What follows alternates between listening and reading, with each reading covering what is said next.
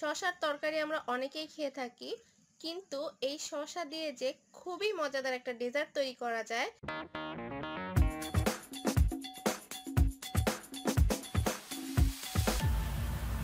আসসালামু আলাইকুম ভিউয়ার্স আজকে আমি আপনাদেরকে তৈরি করে দেখাবো খুবই মজাদার একটি ডেজার্ট শশার মোরব্বা। শশার তরকারি আমরা অনেকেই খেয়ে থাকি, কিন্তু এই শশা দিয়ে যে খুবই মজাদার একটা ডেজার্ট তৈরি করা যায়, সেটাই আমি আজকে আপনাদেরকে দেখাবো। শশার মোরব্বা তৈরি করতে আমার লাগছে ওয়ান ফোর্থ কাপ নারিকেল কুড়ানো হাফ কাপ চিনি এবং আমি নিয়েছি তিনটা দারুচিনি, তিনটা এলাচি এবং তিনটা তেজপাতা। আর লাগছে এক লিটার লিকুইড দুধ। শশাটা এরকম পাকা হতে হবে আর বড় হতে হবে। আপনারা যদি ছোট শশা দিয়ে করেন তাহলে এটা সুন্দর হবে না। আমি এখানে চোদ্দ টুকরা শশাকে প্রথমে ছিলে এইভাবে টুকরা করে নিয়েছি। তারপর আমি এটাকে কাঁটা চামচ দিয়ে কেচে খুব ভালোভাবে পানি ঝরিয়ে ধুয়ে নিয়েছি। আমি আপনাদেরকে এখন দেখিয়ে দিচ্ছি কীভাবে আমি শশাটাকে কেচে নিয়েছি।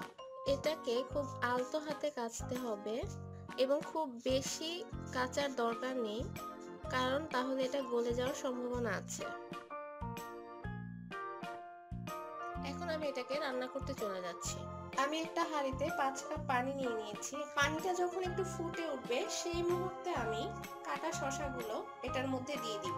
পানিটা মোটামুটি গরম হয়ে এসেছে, এই মুহূর্তে আমি দিয়ে দিব কেটে রাখা শশাগুলো। শশাগুলো আমি ততক্ষণ পর্যন্ত সিদ্ধ করব। এটা নাইনটি পার্সেন্ট সিদ্ধ হয়ে গিয়েছে। তখন আমি এটাকে চুলা থেকে ছেঁকে উঠিয়ে নিব। শশাগুলো সিদ্ধ হয়েছে এবং এটার কালারও চেঞ্জ হয়ে গিয়েছে। এখন আমি এটাকে পানি থেকে তুলে নিচ্ছি। চুলায় দুধ বসিয়ে দিয়েছি। দুধটা যখন একটু গরম হয়ে আসবে, সেই মুহূর্তে আমি দিয়ে দিব গরম মশলাগুলো। দুধটাকে আমি নেড়ে চেড়ে দিচ্ছি।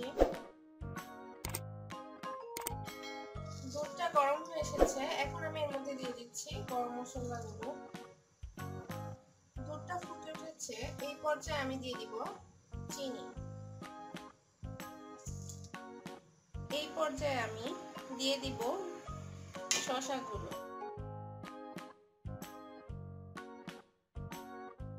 শশাগুলো দেওয়া হয়ে গেলে এটাকে আমি আরও কিছুক্ষণ রান্না করব, যতক্ষণ দুধটা ঘন হয়ে না আসছে। মোরব্বাটা অলমোস্ট হয়ে এসেছে, এই পর্যায়ে আমি দিয়ে দিব নারিকেল।